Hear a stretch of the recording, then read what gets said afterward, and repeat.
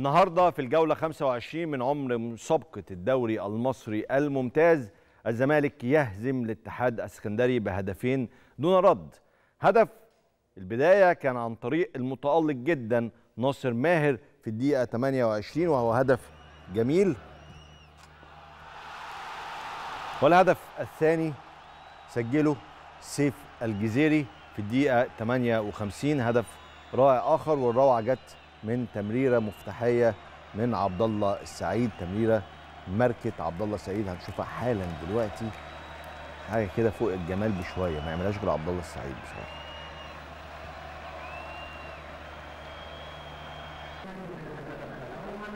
وادي إعادة الهدف مرة أخرى. ده الهدف الأول اللي سجله ناصر ماهر.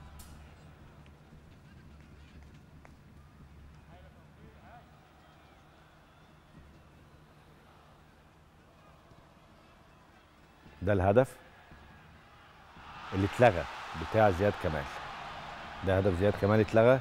كان في كمان هدف لبواتنج اتلغى أيضا للاتحاد السكندري وده كان برضه هدف جميل من زياد كمال. هدفين للزمالك زي ما قلت لكم في المقدمة إنه آه ينعشوا أمال الزمالك في التمسك بفرصة المنافسة على لقب الدوري. ما ينفعش ابدا الزمالك يرمي الفوطة دلوقتي. لسه في مباريات كتير في الدوري الممتاز ولسه الكلام كتير وكبير. صحيح.